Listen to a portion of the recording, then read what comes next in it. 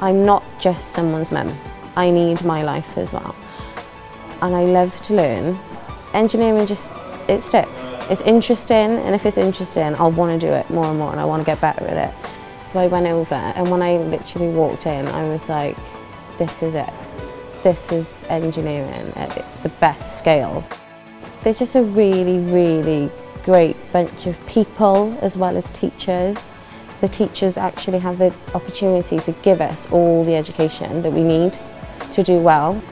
They, they build character. I love my teachers.